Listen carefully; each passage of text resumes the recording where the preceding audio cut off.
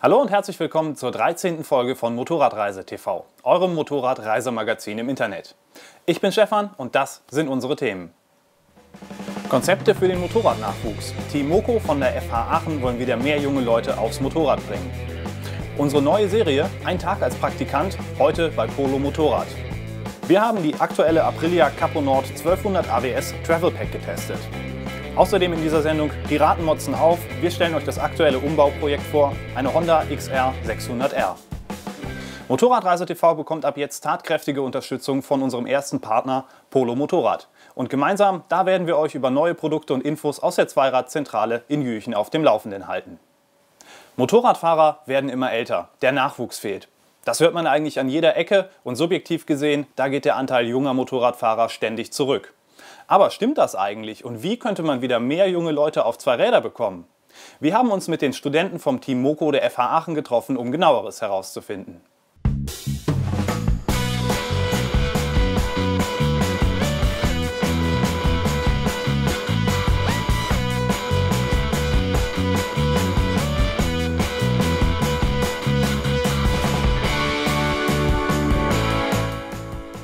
Hi, I'm Nandish Shah. I'm uh, studying at the FH Aachen doing the master's course in automobile engineering. Hallo, mein Name ist Moritz Kalki, ich bin 24 Jahre alt, studiere ebenfalls an der FH Aachen den Bachelorstudiengang Fahrzeugintegration Karosserietechnik und bin einer von Nandisch Teampartnern. Ich heiße Florian Kof, bin 25 Jahre alt und mache auch denselben Studiengang wie der Moritz, nämlich den Bachelor für Fahrzeugintegration und Karosserietechnik und mache im Moment dieses Praxisprojekt, um mein Studium abzuschließen.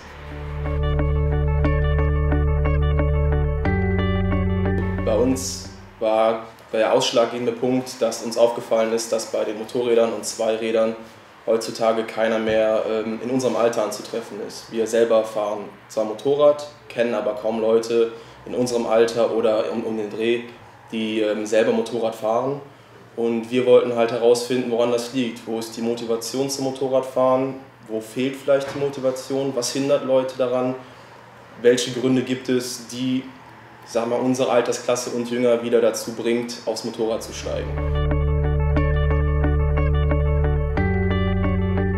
Also das Hauptziel unseres Projektes ist es, ein Motorradkonzept für junge Leute im Alter von 18 bis 25 zu entwickeln.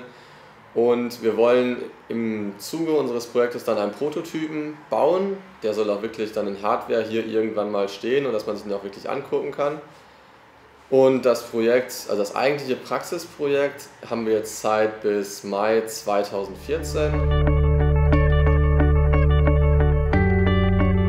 Die nächsten Schritte sind halt jetzt nach der Auswertung auch ähm, erstmal die Präsentation unserer Ergebnisse, um nach Möglichkeit auch Leute zu finden, die sich dafür interessieren, die uns unterstützen möchten, die vielleicht das Problem selber schon erkannt haben, aber bis jetzt nicht angegangen sind.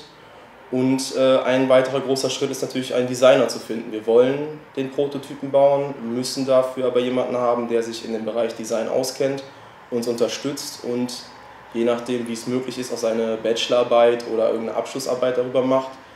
Und ähm, da sind wir gerade auf der Suche. Das ist so einer der Hauptschritte im Moment.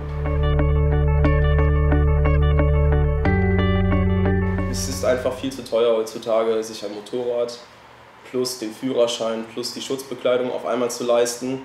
Es scheitern viele schon an dieser Stelle und ähm, auch viele Eltern sind nicht mehr bereit, die angehenden Erwachsenen dabei zu unterstützen oder es zu finanzieren. Und ähm, da wollen wir auch ein bisschen ansetzen.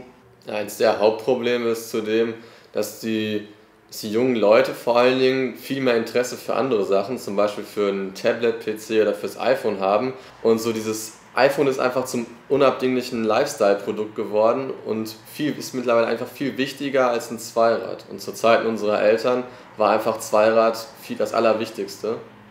Und das ist einfach so ein bisschen verloren gegangen. Diese Mobilität, weil man einfach alles quasi virtuell auch regeln kann. Hinzu kommt noch, dass halt das Auto um einiges wichtiger geworden ist. Heutzutage ist der erste Schritt eigentlich in die Mobilität das Auto mit 18. Also ich denke mal, eine der größten Herausforderungen ist auf jeden Fall die Zeit.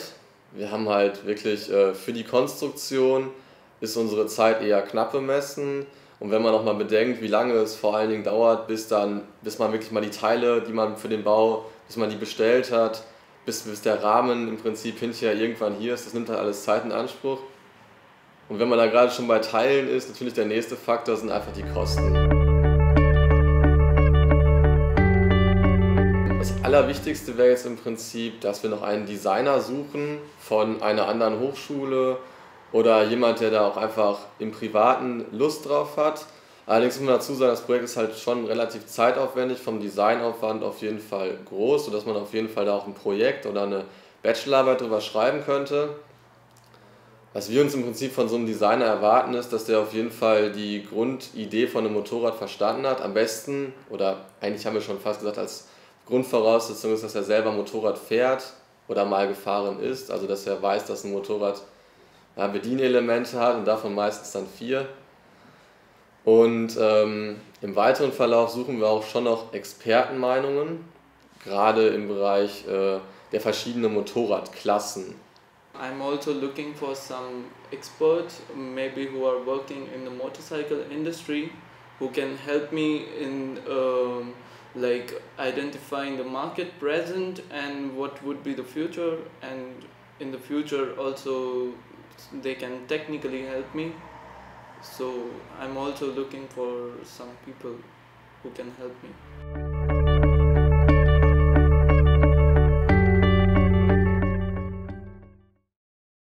In unserer neuen Serie Ein Tag als Praktikant zeigen wir euch heute, was bei unserem Partner Polo Motorrad in Jüchen so alles hinter den Kulissen passiert. Ich habe mich einen Tag lang durch die Weiten des Zentrallagers führen lassen, bevor es nachher vorne in den Store ging. Und was ich an dem Tag erlebt habe, das seht ihr jetzt.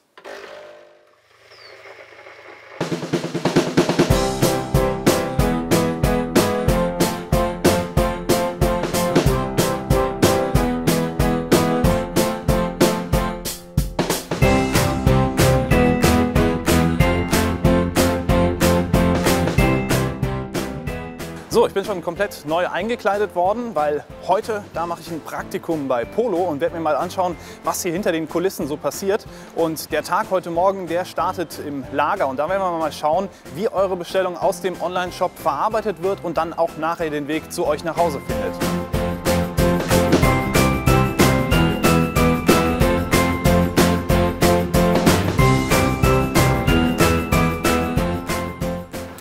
Befinden wir uns im Wareneingang. Hier kommt die ganze bestellte Ware an, die wir halt bei den Lieferanten bestellt haben. Und hier wird die vereinnahmt und vorsortiert und anschließend eingelagert.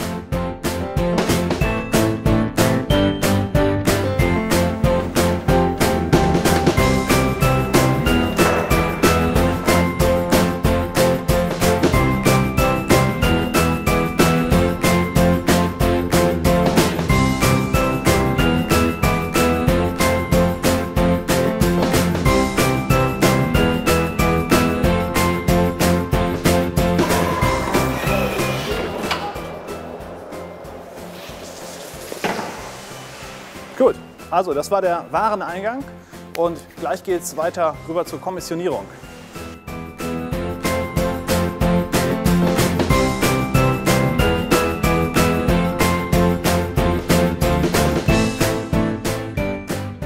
Was passiert hier? Was muss ich hier machen? Hier kommen die Kiepen an in die Sektion und von hier aus muss man halt die Sachen kommissionieren, die sich in der Sektion befinden. Dazu nehmen wir diesen Scanner und melden uns erstmal an.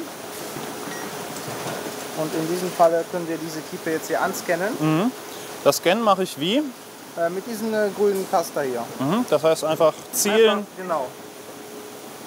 So, So, und jetzt zeigt er dir an, welchen Lagerplatz du anlaufen musst. Genau. also Sektion 111, Elf, ja. Reihe 1, Regal 4, Hier, äh, Ebene 3, Fach 1. richtig. Gut, Das müssen wir jetzt uns hier in der Kranlage suchen, wo das sein könnte. okay. Dann also rein. da haben wir die Sektion 111. Ja, Dann müssen wir in die Reihe 1, das ist 5, 4, 3, 2, 1. Das ist ja einfach. Okay, und dann haben wir Regal Nummer 4, Ebene 3, die hier, Fach 1. richtig. Das bedeutet das. Und dann muss ich hier, Genau. Einmal Fach bestätigen, dass du am richtigen Fach stehst. um Fehler auszuschließen. Gut, und dann Jetzt steht auf dem Display drauf, was es ist und wie oft du es entnehmen musst. einmal Knarrenschlüssel. Ja, das passt. Richtig. So, und jetzt? Musst du den Barcode auf, dem, äh, auf der Verpackung scannen. Einmal, genau. Und jetzt zeigt Okay. er dir automatisch an, wo du zum nächsten Fach laufen musst. Regal 5. Dann haben wir hier die Ebene 3, Ja, Fach 1, also es gibt nur eins. Das heißt, hier scanne ich wieder den Barcode. genau. Zwei Stück.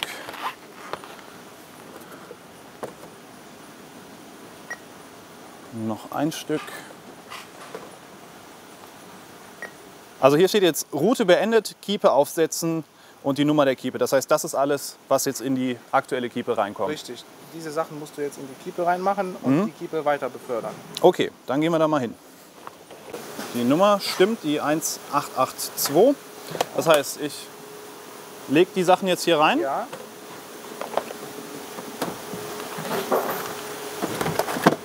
So. Muss ich jetzt noch mal die Kiepe einscannen? nein, die kannst du jetzt einfach auf das hintere Band schieben und die läuft dann dementsprechend in die richtigen Bahnhöfe ein, wo die hingehört. Okay, dann ab dafür.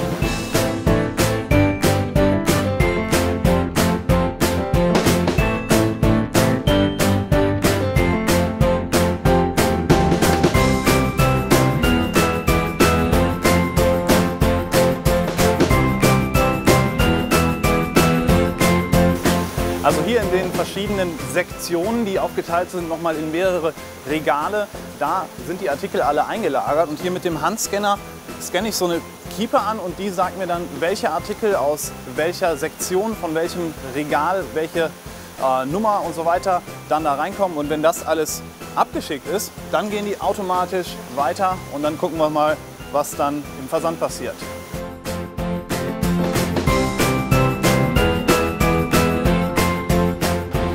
Was sehen wir hier? Was ist das jetzt hier als nächste Station? Das ist hier der Verpackungsbereich. Hier werden Stores und Versandkunden gepackt. Hm, Das heißt, da kommt äh, das, was ich eben in die Kiepen reinkommissioniert hat, kommt dann hier über die automatischen Laufbänder Richtig. genau da unten an Ja. und wird dann für den Versand dann weiter verpackt.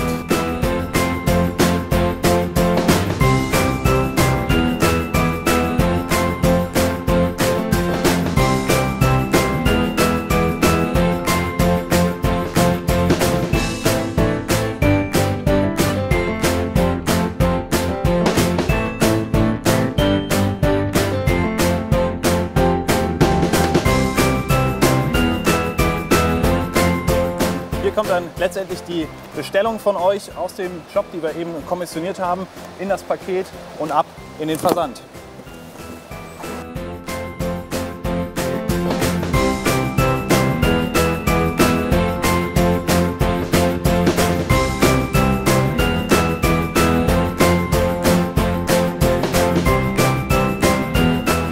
Ja, ich hoffe, ich habe mich heute nicht allzu dämlich angestellt bei euch. Äh, Nein. Hat mir auf jeden Fall riesen Spaß gemacht. Hier schon mal der erste Teil im Lager. Gleich geht's rüber in den Store.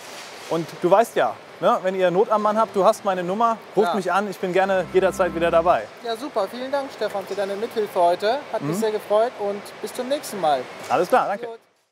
Nach dem ersten Teil im Lager ging es für mich an diesem Tag gleich weiter nach vorne in den Store. Da habe ich erstmal eine Einweisung in die verschiedenen Abteilungen bekommen und konnte so mal hautnah miterleben, was ich sonst nur als Kunde kenne.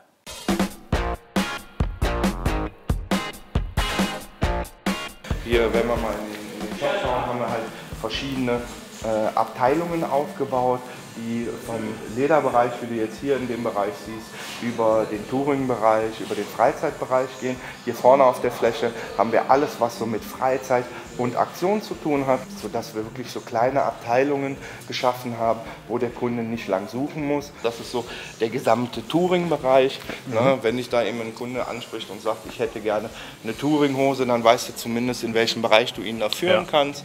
Ne? Und äh, wie, wie gesagt, wenn dann mehr Beratung erforderlich ist, gehst du einen erfahrenen Kollegen holen und bleibst auch bitte dann dabei, ähm, weil nur so kannst du auch wirklich was lernen und siehst dann, okay, wie läuft so ein Verkaufsgespräch ab. Ne?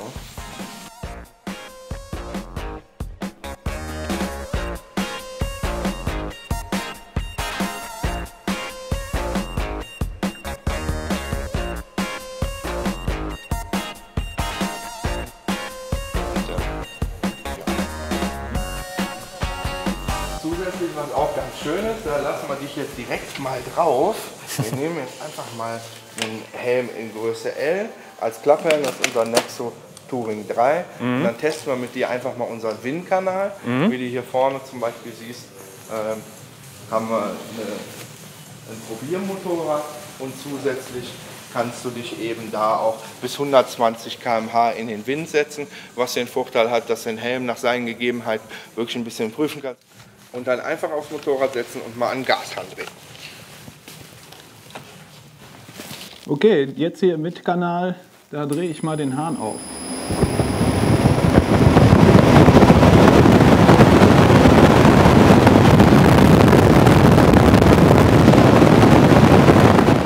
Wie war es im Windkanal? Leise. Okay. Es war sehr leise. Ja.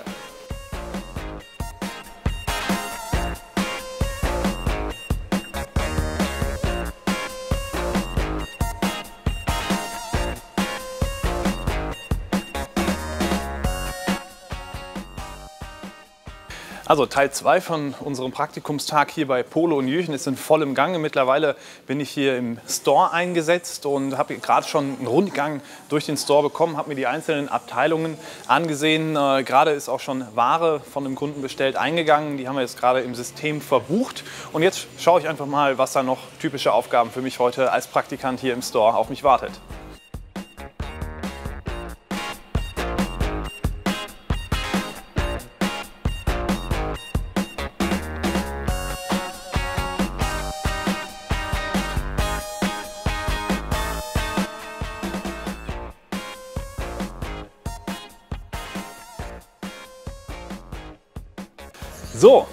Mein Praktikum heute ist vorbei. Das war ein interessanter Tag hier in der Zentrale von Polo in Jüchen. Wir haben eine Menge erfahren über die Arbeit im Lager und auch hier im Store. Ich hoffe, euch hat Spaß gemacht und ihr schaut beim nächsten Mal auch wieder mit rein.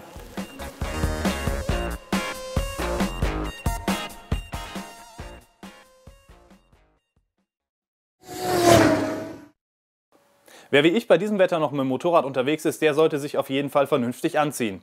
Und neben der richtigen Motorradkombi, da kommt es vor allem auf passende Handschuhe und die richtige Funktionsunterwäsche an. Ich war in den letzten Wochen mit den Thermoboy Arctis PCM Handschuhen und der Thermoboy 365 Plus Funktionsunterwäsche unterwegs und hatte ausgiebig Gelegenheit, die zu testen. Die Funktionsunterwäsche ist atmungsaktiv, schützt euch wirkungsvoll vor dem Auskühlen und ist sehr angenehm zu tragen.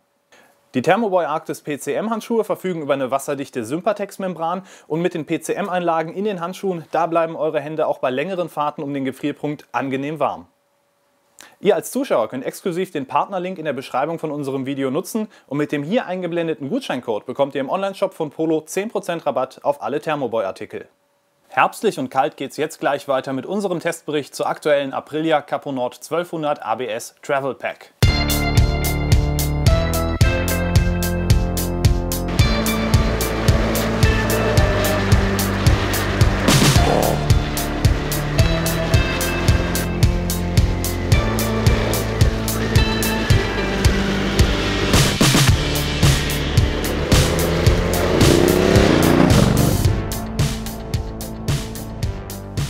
Der Herbst hat ganz offensichtlich Einzug auf Deutschlands Straßen gehalten. Und das bedeutet für viele Ende der Motorradsaison.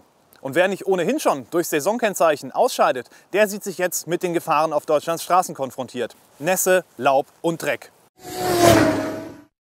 Moderne Fahrassistenzsysteme, die versprechen vor allem zwei Dinge. Erstens Komfort und zweitens Sicherheit. Und letzteres, das ist gerade bei den jetzigen Straßenverhältnissen besonders wichtig.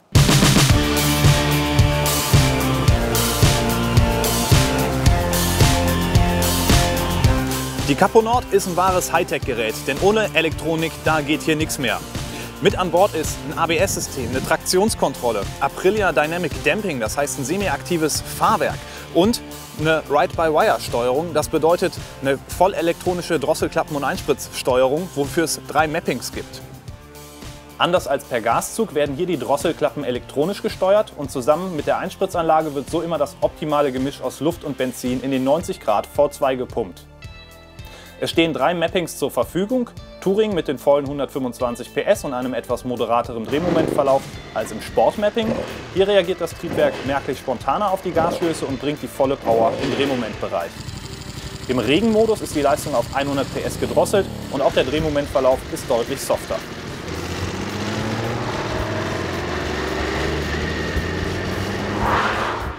ATC, das ist ein weiterer Begriff aus dem Katalog der elektronischen Fahrhelfer in der Capo Nord und das bedeutet Aprilia Traction Control. Die Traktionskontrolle, die soll verhindern, dass das Hinterrad durchdreht und das funktioniert so. Es gibt am Vorderrad und am Hinterrad jeweils einen Sensor, der die Umdrehungen der Räder misst. Ist auf jeden Fall die Umdrehung des Hinterrads schneller als die Umdrehung des Vorderrads, dann greift die Traktionskontrolle ein. Gerade beim Rausbeschleunigen aus Kurven, da merkt man, wie das System kurz eingreift und einen wieder so richtig auf die Spur bringt.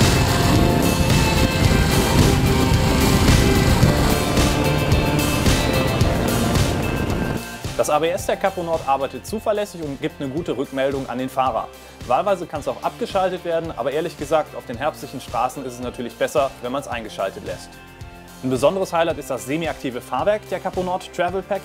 Der Fahrer kann zwischen Solobetrieb, Fahren mit Sozius, Fahren mit Gepäck, Gepäck und Sozius und dem vollautomatischen Modus wählen. In der Vordergabel wird die Druck- und Zugstufe elektronisch angepasst. Das seitlich montierte Monofederbein wird komplett vom Aprilia Dynamic Damping System eingestellt und das nahezu in Echtzeit. Denn verschiedene Sensoren messen beispielsweise Geschwindigkeit, Drehzahl, Drosselklappenstellung und die vertikale Bewegung der Schwinge. Die gemessenen Daten werden in der Steuereinheit verarbeitet und in etwa 0,1 Sekunden sind die Befehle im Fahrwerk umgesetzt. Beim Fahren, da merkt man, dass die Maschine zum Beispiel beim Beschleunigen sich nicht tief hinten im Federbein eingräbt, sondern eigentlich über den kompletten Drehmomentverlauf sehr stabil bleibt. Auch die Vorderradgabel, die vermittelt eine unheimlich gute Stabilität, was gerade in schnellen Kurven sehr von Vorteil sein kann. In der von uns getesteten Version Travel Pack ist ebenfalls die Aprilia Cruise Control enthalten. Der Tempomat ist nicht unbedingt ein Sicherheitsfeature, dafür aber sehr komfortabel, gerade auf langen Autobahnstrecken. Für wen ist die Capo Nord also gemacht? Eins ist relativ schnell klar, denn mit den 1200 Kubik, 125 PS und satten 240 km/h Spitze geht es hier wirklich sportlich zur Sache. Die 17 Zoll Felgen und die serienmäßig montierten Straßenreifen zeigen deutlich, dass die Italiener bei der Konzeption nicht unbedingt an Geländeausflüge gedacht haben. Also dafür erwartet den Fahrer hier jede Menge Power, Fahrspaß, Sicherheit und Komfort, auch mit Sozius und Gepäck. Die Ergonomie ist sehr gut, Sitzpositionen, Instrumente und Bedienelemente, die passen alle. Das Windschild, das ist stufenlos verstellbar, könnte aber für größere Fahrer und Fahrer mit Cross- oder Endurohelm einfach noch ein Stückchen höher sein. 24 Liter Tankvolumen sollten bei angemessener Fahrweise für Reichweiten jenseits der 300 Kilometer Marke reichen. Wenn man sich nicht gerade wie ich vom kernigen Sound des V2s dazu verführen lässt, permanent am Gashahn zu reißen. Durch die etwas lange Übersetzung, da wird das Mitschwimmen im Stadtverkehr ein bisschen schwierig bzw. eine Frage der richtigen Gangwahl. Gerade im Bereich unter 3000 Touren, da fängt die Maschine ein bisschen an zu ruckeln, gerade im Regen- oder im Tourenmodus. Im Sportmodus, da ist das Mapping etwas besser eingestellt. Es bleibt abzuwarten, ob Aprilia da in dem Bereich mit einem Software-Update der Mappings in Zukunft nochmal eine Anpassung bringen kann. Auch wenn ich persönlich eher ein Fan von simplerer Technik bin, haben mich die elektronischen Fahrhelfer der Capo Nord überzeugt. Gerade auf diesen Straßenverhältnissen und jeder, der sportliches Touren mag, sollte zumindest mal eine Probefahrt gewagt haben. Kostenpunkt für so viel Hightech rund 16.000 Euro. Und damit bleibt vielen nur das Träumen von der Dolce Moped Vita auf der rassigen Ragazza aus Italien.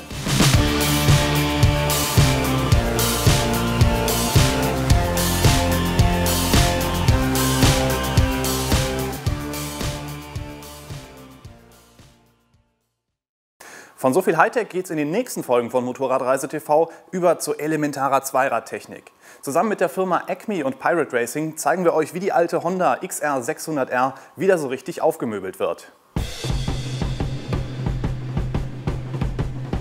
Wir werfen heute schon mal einen Blick auf die Honda und schauen, was wir als Restaurationsbasis hier stehen haben.